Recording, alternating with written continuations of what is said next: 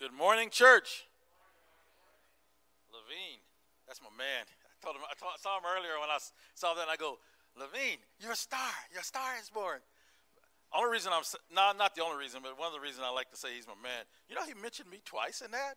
They just said Pastor Brad's preaching, but then but my heart is the body ministries and being the hands and feet of Jesus. That statement, being the hands and feet of Jesus, is what our life is really all about. It's what we really need to be talking about. And that's kind of, we're going to touch on that today. We're going to go about it in a roundabout way. But um, I'm going to have a lot of questions today. And I'm, hopefully by the end of the service, you'll have answers for those questions for yourself. And I can guarantee you that no matter how many people's here, it'll be that many different answers. You're thinking, how does that happen? That's just the way the Word of God works. Well, we've had a pretty great great big buildup of services up until today. We just got through doing two weeks of basically Easter, the Passover. And I don't know if you've been here for every single one of those. If you were here for uh, Palm Sunday, if you were here for Good Friday, uh, the anointed Good Friday service, and of course, last week we learned a lot about how we're viewed what we're looked at, how Jesus was viewed, and how things fall off. But I don't know about you guys, but when we're when you get up on that, I call it the mountaintop, and you're on that high mountaintop, and you're just excited.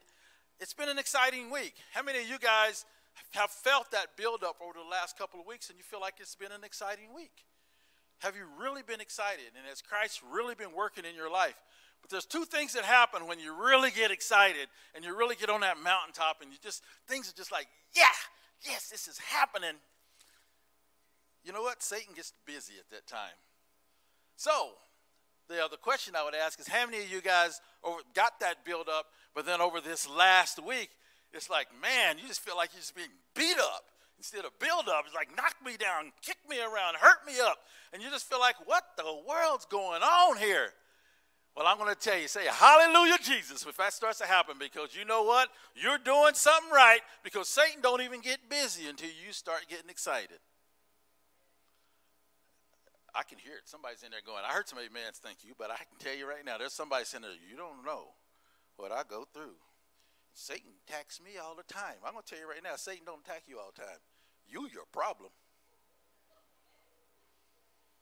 That's right. You are your problem. Satan don't have to work too hard for most of the world and most of us because we create our own issues. Because we're going to do it our way. We've been raised to do it our way. We've been raised to look for the happiness in life. So, with that being said, the first question I got, which is also the title of my sermon, are you having a breakthrough or a breakdown? We've been led up. We've been brought up. We've been lifted up. Are you having a breakthrough or you've been having a breakdown? Well, let me explain something about a breakdown, especially when it comes to Christ. Usually, when we're having a breakdown, one of the reasons we might, you might be having a breakdown is because you're stuck in the past and you're not even ready for the future, which is right here in front of you. Churches have that problem right now. And you know what? When I say churches, I mean the people because we are the church, right? We've heard that in the last few sermons. A lot of us have a hard time dealing with the new stuff. And I'm raising my hand because I'm one of those. And I know my wife didn't let me cut my hair so you guys can see that I'm old and got gray hair. And a lot of us that have that old gray hair, I like to call it wisdom or whatever you want to call it, we have a hard time with the changes of today's society. Young people just computer it.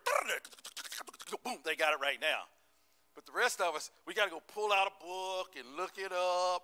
We write things down on a piece of paper with ink that don't even work in our pens, and then we got to go find a pen. And by the time we find the pen, we already forgot what we are supposed to write down. Does that sound familiar? Yeah, some of you laughing at that, but that's our life. It's the future. It's change. Even in the church today, there's change going on. We're not just singing hymns, and it's not just a piano up there, which I grew up in. We got drums, we got soundboards and sound systems, we got loud music, which some of us old folks complain about all the time, but that's okay. I don't have a hearing aid, I can't turn it down, so eventually we'll get it down to where we can worship it in unity, age or otherwise.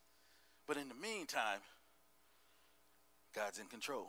That second song we sang today, that new song that we sang today, wow, that is so awesome. That is so awesome because God will never fail you. God will never fail you. Another way that we have a breakdown, and this is, I want you to listen to this. Think about what I'm saying to you. What you wrote off. How many of you guys have written something off in your life? You had a goal in life. You realized that I was raised for this. I went to school for this. I got an education for that. I'm moving in this direction or that direction, and it just not happening.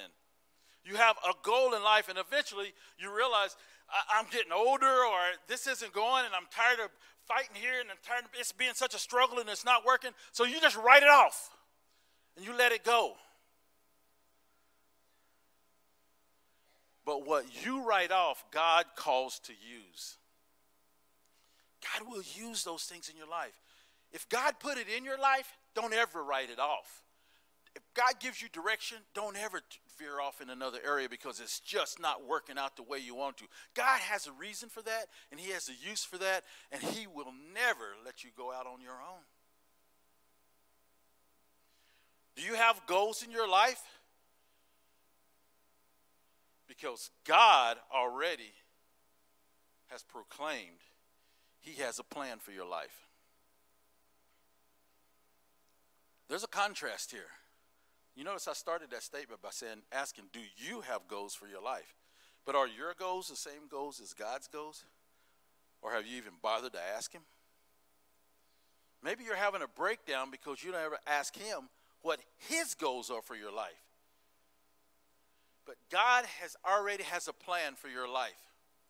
All you have to do is tune in to Him and not all your buddies and all your friends and everybody else in the world and asking them what those goals are. He's given it to you your whole life. He's given you visions, He's given you direction, He's given you different things of that nature so that you can start to attain this and move towards that. He's given you the stuff that you're throwing away that he's going to use and he sees as valuable and gold, and you're just trashing it because it just didn't work. Let's start over. Let's try this. Let's try that. Unfortunately, in today's society, marriage is one of those things that gets thrown aside. Let's try this and try that. People give up. But God never said it would be easy. Actually, that's one of the hardest things to do is sustain a long, long marriage. But for you young people in there, we got people like old Dale sitting back there with his wife. I ain't, don't even have a clue how many years, but I know it's been a lot of years they've been married. My wife and I have been married for over 34 years. I can tell you right now, it ain't easy. But she still puts up with me. sometimes I wonder why, because sometimes I don't even put up with myself. but God does. But God don't throw none of us to the side. We can't just abandon His plan because it doesn't line up with our plan. Matter of fact, maybe you need to abandon your plan and pick up his plan and watch how things work. But uh, you know what? In Jeremiah 29 11, everybody probably has heard this scripture, and I'm going to read it for you. But God tells us very clearly, and it reads like this For I know the plans I have for you, says the Lord. Says the Lord. I have plans for you, he says. Plans to prosper you and not to harm you. Plans to give you hope and the future. So if you think that you ain't got no future, things aren't happening, and you just don't see that future coming your way, maybe you need to look at the Word of God, look up Jeremiah, and just live off of that. Because He has a plan for you. But this is what really stands out. Let's go back to that a minute. It says, I have plans for you. Who's speaking here? God. He says, I, This is the creator of all the earth. This is a God that started this wind that blew all your hair around when you was coming in here today. He's in control of that. He blows it and he stops it. If he can control that, you think he can control the plans he has for you? You think he can you think he can literally have you standing right here at the base of this mountain on one day, sweating like a pig, so hot you're going to pull off your clothes and jump into somebody's swimming pool, even if you know them or don't know them. Then the very next day, put snow on those mountaintops. But he's got a plan for you. He's thinking about you as an individual. I can sit here right now and go through this sanctuary, and I can't tell you half the names in here. and I see you every week. Shame on me. God knows your name, and He knows the plan He has for you, and He's willing to reach down and make that plan happen, but it's got to be His. It ain't got to be yours. You need to start syncing it up. You know, the other thing that we hear a lot, I've heard this, when I first learned the scripture, you know, I didn't really learn this scripture from reading the Bible. I learned it from hearing everybody quote it. And usually when somebody's in trouble, and I, I, I just, these people that like to just throw scriptures out there in their, in their life, and then the things are going tough, and you see somebody, and, I, am just, I'm relating a true story to you right now. And I remember seeing this one lady was having a deal, and she throws out, Well, God has a plan for you. I know the plans He has, and He has a plan to prosper me. And I'm going to be making it. I'm going to get that car that I wanted because He has a plan to prosper me. And then later on says, In Jeremiah, God said He has a plan to prosper me. I've heard preachers from the pulpit preach a whole sermon on just that. He has plans to prosper me. Prosperity. We all want prosperity. God don't want us to be broken, broken down. But I want to tell you right now, what he's talking about prosperity here has absolutely nothing to do with money. Has nothing to do with greenbacks or dead presidents that's on those greenbacks. It has every bit to do with spiritual prosperity, growth in God. You want to be rich? You really want to be wealthy? You just get into the Word of God. Seek up your life with God's life. Spiritually, He will lift you up and you will be so rich that when you got a dollar, it seems like a hundred. It works every single time. He don't care if you ain't got no money. He cares if you care for him if you're willing to give your time and your life for Him. So it's not about physical, worldly prosperity. So, what I'm getting at is try not to take out of context, which works into your plan, God's word, because it ain't going to fit. Take His plan, put it into your life, and it'll fit like a glove. And then he can look at you when it comes times for judgment and says, if it don't fit, we must have quit. I had to throw that in there. I had to throw that in there. I know it's corny. Get rid of that. Anyway, you know me. I'm throwing all kinds of crazy stuff, and God slaps me around and says, get back on the topic. Well, I'm going to go through a few of the steps, a few things that are very important that I'm, that I'm going to hopefully help you guys with, which helped me. So I'll feel like I, I'm obligated to share on uh, how to make sure that I sync up my plans with God's plans so that I can have breakthrough instead of a breakdown. So that I don't start freaking out when things don't happen. When I got to pay the rent and the money hasn't come in yet. Or when I got this coming on you, like, oh, oh, oh, I'm having this problem. Or when I get cut off on the freeway and I'm ready to run that guy down and give him a couple of those fingers on your hand that needs to be cut off. He has a way so that you don't have that breakdown, because that's exactly what it is, and you can have a breakthrough. Just step back, take your foot off that gas pedal, let that car go on through. As long as they didn't hit you, if they hit you, then you exchange information and you tell them God bless you. Don't scream at them when you get over there after they hit you. That's a breakthrough, not a breakdown, because God's in control of that moment. Let Him start to control you. And the very first way that can happen is prayer. It's prayer. Now we start thinking about prayer, and it's like, okay, I'm thinking about prayer. And uh, I know. Well, I'm going to tell you something right now. Prayer is one of the most important things that we can do. It moves. Angels dance in heaven when we pray. But I'm also going to tell you something. You know what prayer really is? It's just talking to Jesus, it's just talking to God. It's a conversation. And I do it daily. You know, the scripture says, pray without ceasing. First time I ever heard that, I go, you got to be giving, give me, that's crazy. I got things I got to do. I got my mind's focused here and focused there. Pray without ceasing. Well, you know what that really means? In every situation, in every minute of your day, God's in control of your life. And if you pray to Him, which is just talking to Him, and it takes that quick. God, is, am I in, am I in, my, in your perfect will with this? Is my, is my attitude right right now? Is my thought process right right now? Am I going in the direction you want me to go in right now? Am I going over here to do this for your purposes, or do I have my attitude going on here? That's, that's second by second, minute by minute in our lives.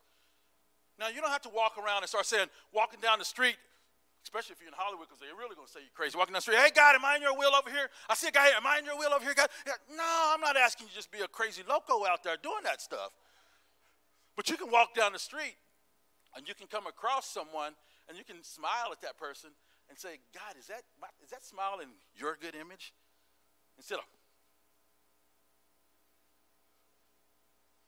Because that's the way people meet each other in California. That's the way it happens. I'm from Tennessee. I'm a country boy, back in the sticks, in the hills of Smoky Mountains. And when I moved to California, I was 19 years old. I got a job at Kaiser in Hollywood.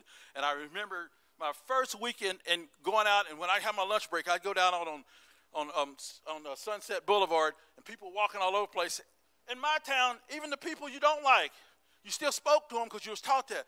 I remember walking down the street and, hi, Hi. People look doing all that stuff. Then I had a guy one day, I go, hey, how you doing? He goes, why are you speaking to me? Why are you speaking to me? Don't you speak to me? And I go, I just wanted to say hi. I couldn't figure it out. Now my buddy said, you don't do that in California. I go, but I'm supposed to. My mama gonna kill me if I go home and she find out I'm not speaking to people. And I'm sorry, I don't like that belt. I could be 19, she still bust my behind if I ain't treating right. But it's the wrath of God is teaching us just be kind to people in whatever way you need to be kind to people. And check in with Him. It's just a matter of prayer. prayer. So, what role does prayer play in your life? What role does prayer play in your life? Is it the steering wheel or is it the spare tire? Come on, you guys, you guys showed up in a car today, and that steering wheel, if it don't, if it's not guiding the direction you go, you don't get here. So is prayer what's directing you? Is it the guide? Is it steering you in the direction you need to go? Is it the steering wheel or is it the spare tire? You know what the spare tire's for? You never look at it, you never see it, you don't even know if it's out there until you're in trouble and something happens and you go, Oh, I got to get out of this position. And you open up the trunk and it's not even there either. It's like, Wow! Is that your prayer life? As soon as things go wrong, God, please help me, Lord. I'm going to pray to you. Oh, I'll even get on my knees. Oh, it hurts my knees. I'll stand up. Oh, God. Because if that's your prayer life, is that the condition of your prayer life, you need to get that out and get it in His place. Make it your steering wheel. That's the beginning. Make it your steering wheel, the steering wheel, not the spare tire. Another thing is reading God's Word there's some guilt trip that goes on that we've been taught through our lives about reading God's word. You know, the whole, well, if you don't read his word every single day, you're just disappointing God and it's bad and you're going to sin and you're a sinner because you're not reading his word every single day. Why not read enough of his word, learn enough of his word to where it's right here? Because in his word, he says it's in your heart. And I'll give it to you when you need it through the Holy Spirit who lives within you. That doesn't mean abandon your Bible and put it to the side. That means take time to meditate on it. And when you do read it, make it worthwhile. And if you miss two or three days, don't go on a guilt trip. It's easy. A lot of people give up on reading their Bibles because they don't fall into the quote unquote normal of reading it every single day. They get guilty because they miss three days. So what do they do? They just say, oh, well, forget it. I'll never catch up. I'm not going to read it again. No, no, no. Read His Word. If you read it once a month, read it and learn from it as you read it once a month. Because if you learn from it, what happens is it gets so exciting and the Holy Spirit starts working you, then you want to read it the next time, at least to finish that story, because something's exciting about that story if you take time to read it and not just go across the words of the book so fast that you can say, Oh, I read through the whole Bible in a year. It's great if you can do that, but if you don't do that, it's okay too. You know what? God, Jesus will meet you at those pearly gates just as well as he will the guy that read it three times in a year and you only read half of it or a few quotes. Any part that you give him and you get into the word, consider this. Why is it that you want to read the word? Because it provides encouragement and it also provides direction. In James chapter 1, verse 2 and 3, it says this it says, Consider it pure joy. I'm going to finish it. Consider it pure joy. Jesus, oh yeah. Consider it pure joy when you face trials. What you talking about, Brad? I ain't talking about nothing. That's the word of God talking over here. Consider it pure joy when you face trials of many kinds. He covered everybody on that one, and he said many kinds. That way, it's not all the same trials. Because you know that the testing of your faith produces perseverance. Let perseverance finish its work so that you may be mature and complete and not lacking anything. Amen. Give God a hand. I know we all like that when we persevere, we don't we don't we don't lack nothing. We get everything. You just got to remember what it takes to become perse- for that perseverance. That's talking about trials, tribulations, problems. God wants to make us mature and complete so that we can stand firm in our problems and move forward in Him. So, instead of complaining, we should see God's plan as opportunities for growth. So when you start going through these trials, you start having problems, when you're starting to have the breakdown, reach out for Him so He can help you break through and recognize for the next time that you run into anything similar to that, you got it handled. You can look back at that and say, Got it. It's done. You look up at God and say, Favor. You know what I mean? That's the way He takes care of you. Get into His Word. You know what? God won't leave you alone. He will never leave you alone. When you're going through that, He won't leave you alone with your problems. He stays close to help you go through it. Sometimes it might not feel like He's close, but I'm telling you, the only reason He ain't close is because you're pushing Him aside. Remember how you got your plans? and you're going to handle this situation you're in, when you start deciding you're going to handle this situation in, you know what God does? He says, I'll let you. But I'm going to stand right here because you're getting ready to fall. Oh, you want to move farther away? I'll get a little closer because you're going to fall. He goes, Yeah, you're on the edge of that pulpit now. You're going to fall. Boom! Then he goes, Come on up, my child. Let's brush you off a little bit. And then we'll move on. He never is that far away. And if you think he's that far away, then you need to take a look in the mirror because you're the problem, not him. Another way of doing that is follow the commands God puts on your heart. You notice I said follow the commands that God puts on your heart. God puts on your heart. I guarantee you that if you really think about it and take the time to look at it, there are things in your life, things that God asks you to do, and He's put it on your heart to do, but come up with like 16 different excuses. Well, I don't know who to contact. I don't know which way to go. I don't know where to go. What are they going to think if I'm going to do this or if I'm going to do that? Even something as simple as if I should if I should go help the homeless or go down there and let me tell you something. God even even you know I told you God don't care about no money. He he don't care if you give these people money. If you're, if you're really concerned about the homeless in this community, why don't you go talk to them? I've spent years talking to them. And I've met some of the most educated, smartest people in my life that are homeless on the streets, looking and smelling like scum. But the only, first way, the only way you're not you're going to be able to do that when God puts it on your heart is you're going to have to not judge them, and you're going to have to recognize that they're His children, and He loves them as much as He loves you. We're a family, we're in God's family. But that doesn't mean that everybody out here's got to run and have to talk to him because that might not be what God puts on your heart. And if you don't put it on your heart, don't do it. He might put something else on your heart. And I'm going to tell you right now when you say, I want to do something, that means you ain't going to do it. I'm telling you right now, when you say you want to do something, that means you ain't going to do it. Because if we do what we want to do, but when we talk about what we want to do, we usually don't end up doing it, especially if it's something that's trial, a trial, or, try, or trying for us to do, where it's not that easy. But if God put it on your heart, then you can say, I look forward to doing this because I want to please my Father. Ask Him, He'll tell you what He wants you to do. I know I talk to people and they all the time and they say, Pastor Brad, I'm praying and I'm praying. I've been praying and God just don't tell me what He wants me to do. Yeah, He does. You just don't want to hear what He's got to say. I'm serious.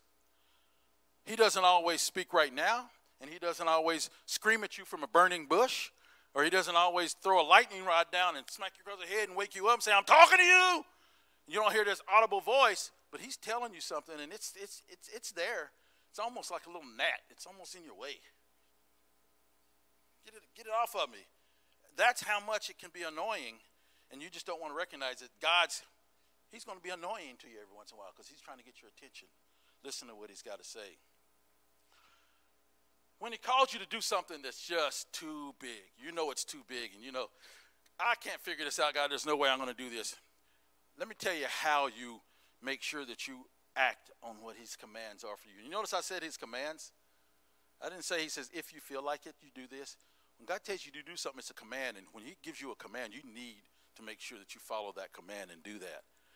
So that means you have to really get into the Word with Him and talk to Him and get deep into it. But how? One of the best things you can do is rely on past experiences. You remember earlier I kind of mentioned where you, if you have a problem and then you, God gets you through it, next time you have something similar, you're able to just move right past it because you have that confidence. Well, I'm going to give you one. We've all heard of David. There's a guy by the name of David in the Bible, huh? Little boy. And when you think of David, you think of Goliath. Yeah, we think of Goliath. How little David was able to take out this big giant with a slingshot and a rock. Well, let me tell you something. Past experiences give you courage for the, to be able to move forward in your future movements. Before David met Goliath, he met a lion and he met a bear, and he killed them both. Little old David. Come on now. He killed them both. Now he's on this giant. But tell me, let me tell you something. That bear got claws way bigger than Goliath did. But he also knew that he had to be connected with somebody else. And you know who he was connected with? God. And he knew right up from the front that that rock ain't going to do nothing to that dude because he's big. He knew back with the bear, bear and the lion that he wasn't going to be able to do it but he knew God could, and he called it out. Goliath, I don't care how big you are, you can't touch me because I got God in my back pocket. And he's going to move to the front pocket, and he's going to kick your behind with this little old rock. And he did it. Rely on past experiences to give you the courage. And there's a past experiences where God is in control. You allowed him to do it his way, not your way. You will be successful, guaranteed. Step into that again when you're going through these hard times, when you're having a breakdown. Watch what he does. Also, there's also something that's very important that I think we kind of take too lightly in the church days, and it's called seeking godly community. What I'm talking about is church, like the building that we're in now. When you guys come through that door, you need to be smiling because we're having a party. We're having fun. I get to see people that I don't often get to see. I only see them maybe once a week, but you get an opportunity to see them. I was talking to the group this morning and I told them, you know, the only reason I even come to church, and I'm, we are the church, but the only reason I even come to this building, it's only one reason that I come to this building to see you guys. To see you guys. Somebody's out there saying, this ain't a social hall. This ain't a social place. We're here to worship God. I'm here to worship God too. But I can worship God at home too. But I don't get to meet with you guys. I don't get to commune with you guys, get to know you guys, get to celebrate with you guys. Sunday morning is a celebration. We should be dancing in the aisles around here because of what God has done for us every minute of our life up to this point, beyond this point, and at this time. It's a time of celebration because we're the church. We come here to just give Him the glory united as a group. And we need to act like we want to give him joy, united as a group, get to know each other, spend some time with each other, encourage each other. Because when you have a group like this, we're a godly family, we create encouragement so that we can get through the rest of the week. And if you know each other and you get involved in some community groups, you get to call people up during the week and say, hey, this is going on, that's going on, this is going on, and I, I need your help. You can do that, but it's also a good way of accountability. When you start going whack and getting off and you're not getting in the right place you need to be with God, hopefully you got a friend that's going to say, hey, brother, come here a minute. Your attitude is just messed up. And if we're call each other's friends, I can be straight with you. You need to seek God, and let's pray about it, brother. We'll get you through that. And of course, the last thing is to obey God's truth. And I talked about it a minute ago, asking God on a daily basis. Let me tell you this if you live your life according to God's plan, you will 100% always encounter a breakthrough. 100% a breakthrough. We need to obey the truth that God has in His Word, and we need to obey Him. And I guarantee you, when you start lining your plans up with God's plans, or even better, take your plans, throw them out the window, put God's plans in there, and I guarantee you, as you start on that journey, for some reason, somehow they meet because they were His plans to start with. You just thought you had thought that up. You didn't think up nothing. He gave it to you, and He's gracious enough to let you think that, or let you think that it's yours, or want to keep it as yours. But there'll come a time when you have to realize it's all His, and He will help carry you through that. I laid out five specific things that God's plan for your life for breakthrough. And I, if, and right now, as I'm getting ready to close, some of you guys take notes, and if you take notes, it's going to be up on the board here. If you need to write it down, take a screenshot to kind of remember these these five different things. Do whatever you need to do. If you don't, I, I'm not a note taker, so I probably wouldn't have taken the notes anyway. Whatever it takes to make you recognize if you really want to be in God's plan and you want to break through in your life, instead of breaking down every time something goes haywire, goes sideways on you, refer back to this. And when you do that, you will see your life change, you will see your community change, and we will see the world change. Because I'm telling you right now, there's more of us than it is them out there creating havoc. But it doesn't have to be more of us because God controls it all. And God wants nothing but good for the rest of all of us and the whole world. And He wants to fill this place up with brothers and sisters who love each other because of one thing we have in common, and the only thing we need to have in common is Jesus Christ. Can I pray with you guys? Heavenly Father, I thank you for each and every person here. I thank you for each and every person online, God. And I just ask that you use this message to reach those people. I ask that you use this opportunity for them to recalculate, recalibrate, and rethink their life with you and start to utilize the simple tip of just praying to you, which means communicating with you on a minute by minute basis instead of a monthly by monthly basis or trouble to trouble basis. God, we look forward to being your warriors in the future, and we love calling you our Father. We love you and praise you, give you all the glory in Jesus' precious and holy name. And let us all say.